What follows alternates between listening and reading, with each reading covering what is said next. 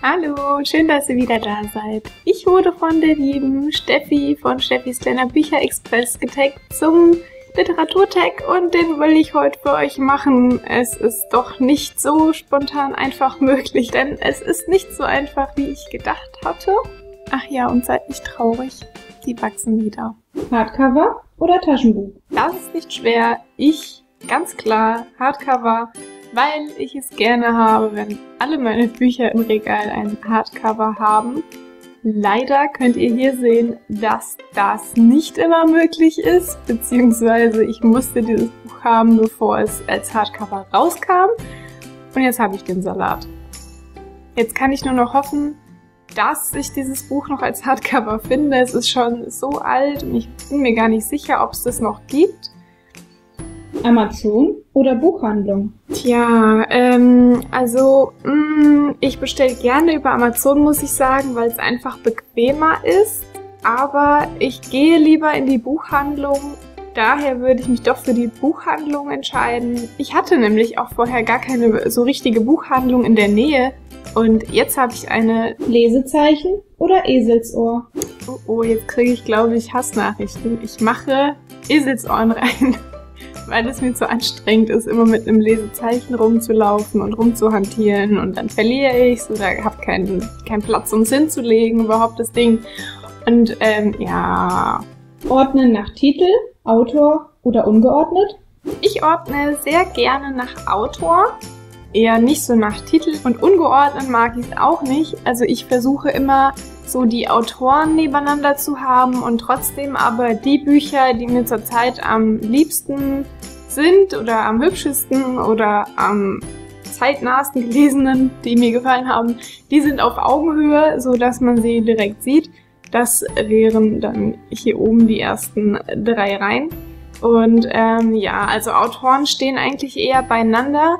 Geht nicht immer wegen dem Platzmangel, weil ich nur ein Bücherregal habe zurzeit, aber es kommt noch ein zweites, dann wird es ein bisschen einfacher.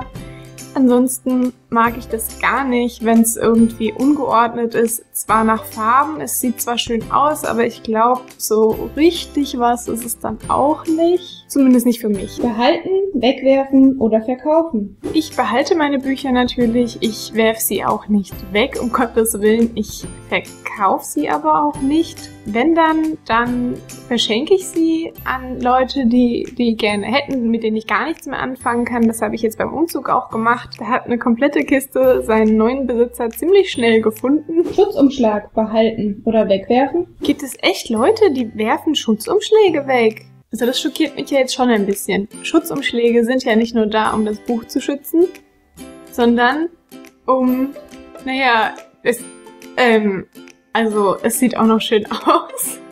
Leute, wer wirft denn Schutzumschläge weg? Bitte natürlich nicht.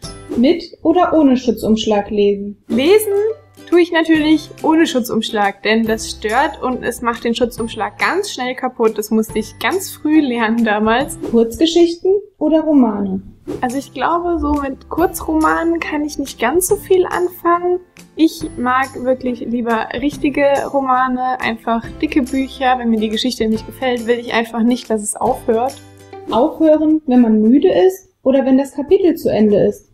Naja, das kommt drauf an. Wenn ähm, das Kapitel bald zu Ende ist, lese ich es auch noch zu Ende. Aber wenn ich merke, dass ich mir absolut gar nichts mehr merken kann und schon gar nicht mehr weiß, was vorher überhaupt passiert ist, weil ich einfach nur noch die Wörter lese, anstatt sie zu verstehen, kennt ihr das? Dann lohnt sich auch nicht mehr. Dann mache ich es lieber zu und äh, mache dort einen Knick rein.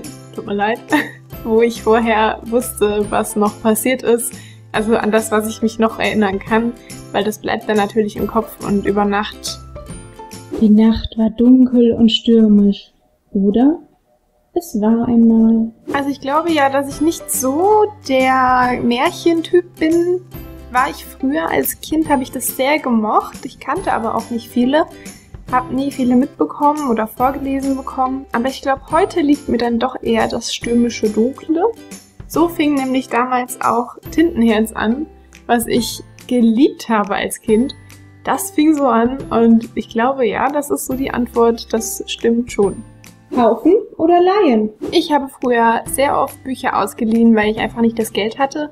Aber heute mache ich das nicht mehr.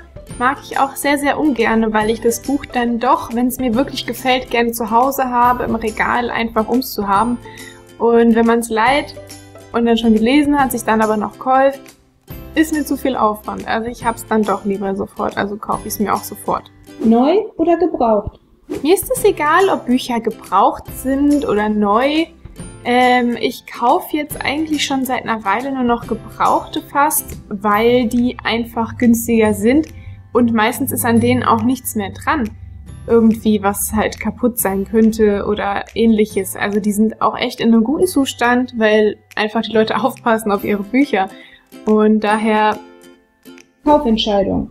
Bestsellerliste, Rezension, Empfehlung oder Stöbern? Ach du lieber Himmel. Also Rezension gucke ich mir eigentlich nur an, wenn ich das Buch auch gelesen habe, um zu wissen, wie das andere finden. Die Bestsellerlisten gucke ich eigentlich nur so aus Interesse durch, aber nicht, wenn ich ein neues Buch suche oder explizit so danach gucke. Auf Empfehlung lese ich mir die ähm, Klappentexte durch, aber ich stöber dann doch lieber einfach so und guck, was mir gefällt und was mir in die Arme fällt. Abgeschlossenes Ende oder Cliffhanger? Das ist eine sehr gute Frage. Ich mag total Cliffhanger, aber nur, wenn danach auch noch ein weiteres Buch kommt. Wenn das das Ende einer Reihe ist und da ist ein Cliffhanger und es ist bekannt, dass schon nichts mehr kommen wird, dann finde ich das nicht mehr ganz so lustig. Also das ähm, hätte ich dann doch schon gerne abgeschlossen. Also es kommt drauf an.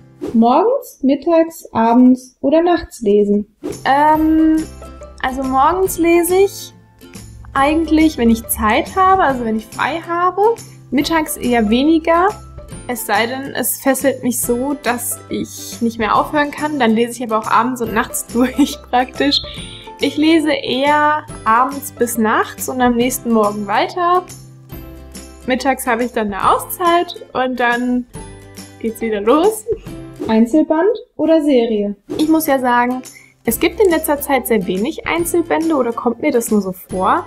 Ich ähm, weiß schon gar nicht, wie ich welche finden soll, so richtig, die keine Reihe sind. Ich würde nämlich gerne wieder Einzelbände lesen, aber ich habe Reihen auch sehr gerne und deswegen lese ich auch nur Reihen und beschränke mich nicht nur auf die Einzelbände. Meistens ist es dann wieder eine Reihe, wenn ich ein neues Buch anfange und ich habe nur Reihen, die ich angefangen habe.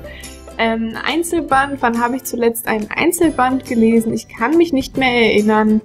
Ich glaube, das wäre dann Birdbox, obwohl auch da nicht bekannt war, ob da nicht noch was kommt. Also erinnere ich mich an 28 Tage lang von David Safir. Ich glaube, das wäre so das letzte, was ich gelesen habe als Einzelbild. Ich bin nicht sicher, aber das ist mir noch im Kopf geblieben und schade eigentlich, dass es so wenig gibt. Lieblingsreihe? Lieblingsreihe.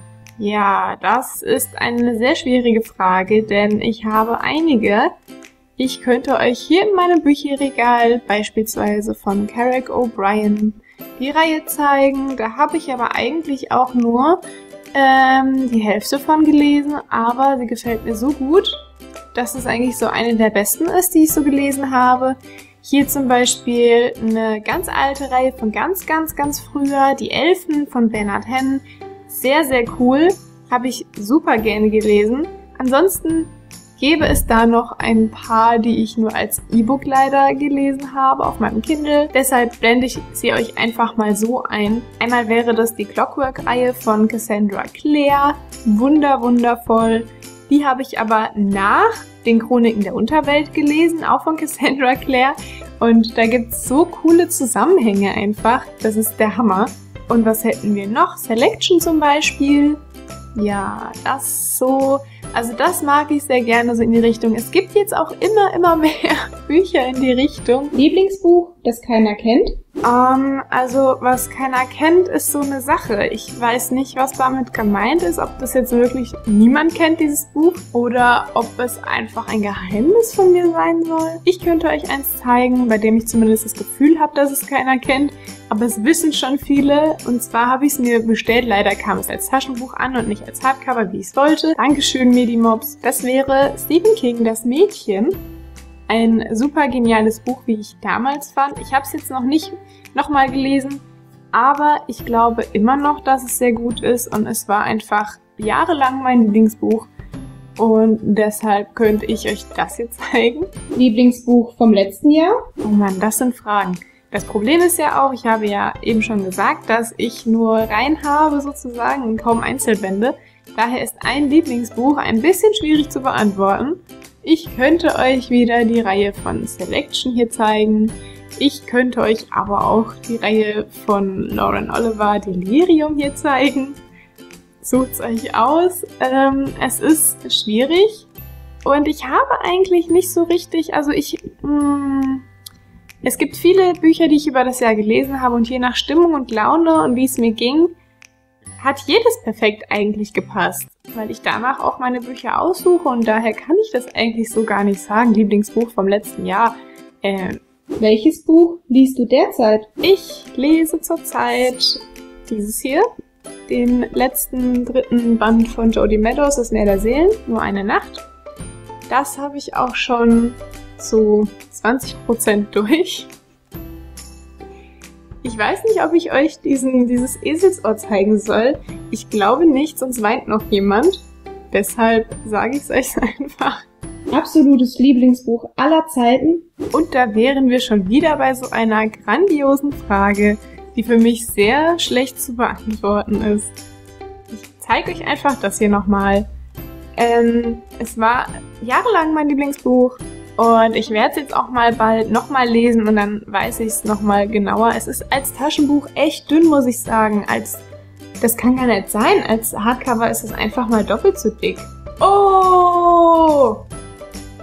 Hier ist ein Eselsohr drinne.